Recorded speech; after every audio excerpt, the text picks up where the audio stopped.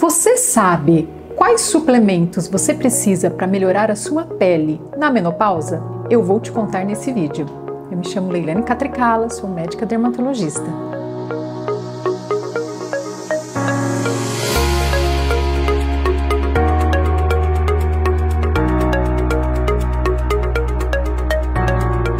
A menopausa é um período onde a menstruação cessa apontando uma diminuição significativa na produção dos hormônios sexuais.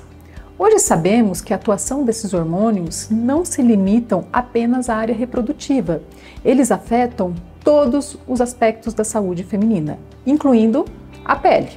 Como dermatologista, tenho a honra de compartilhar com vocês três suplementos essenciais que podem ser verdadeiros aliados para a melhora da saúde e qualidade da sua pele nessa fase da vida.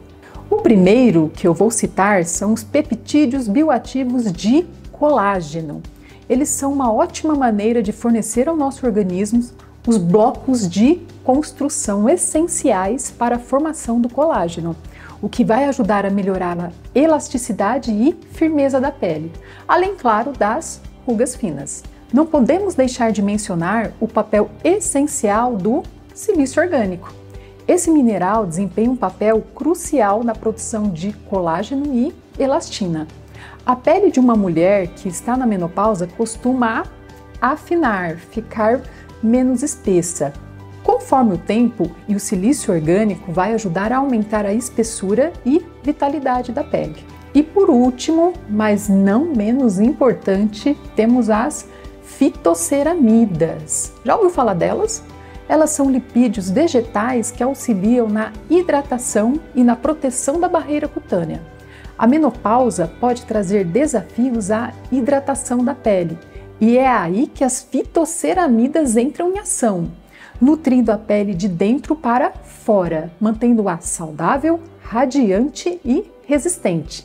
Lembre-se que a menopausa é um capítulo natural da vida, repleto de oportunidades para o autocuidado. Ao investir na suplementação adequada, você está se preparando para desfrutar de uma pele saudável, refletindo a beleza natural de cada fase da vida.